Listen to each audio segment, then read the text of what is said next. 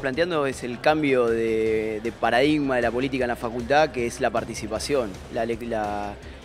historia de nuestro claustro acá en la facultad es, la misma lista de hace 20 años y la,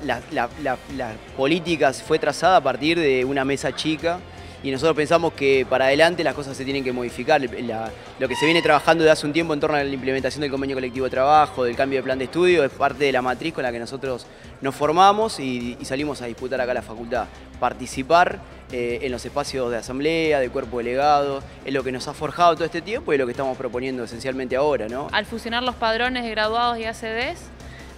pudieron traer a votar muchos graduados de acá, eh, graduados puros, que no, pisaban la facultad hace cuatro años, encontramos con gente que ni siquiera se había venido a empadronar ella voluntariamente, sino que la habían empadronado a la distancia, lo cual, nada, irregularidades, irregularidades, gente que terminaba de votar y decía, yo no me empadroné, pero, ¿por qué? Y, pero acabas de votar, y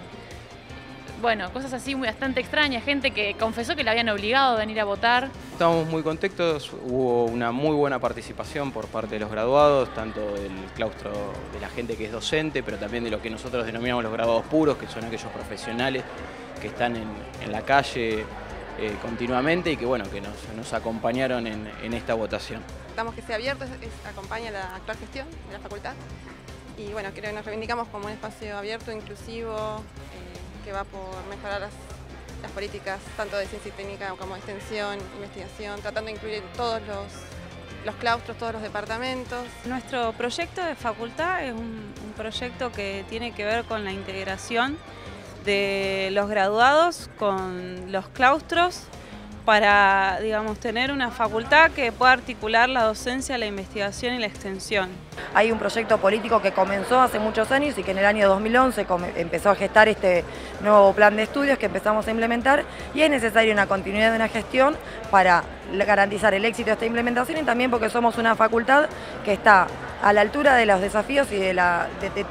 los desafíos que nos impone eh, la realidad jurídica. En primer lugar, eh, desde nuestra lista estamos planteando la necesidad de la democratización tanto de la facultad como de la universidad. Estamos planteando precisamente que es necesario construir una universidad y una facultad que esté al servicio del pueblo, al servicio de los trabajadores, al servicio de las diferentes luchas populares y no eh, que se transforme en una élite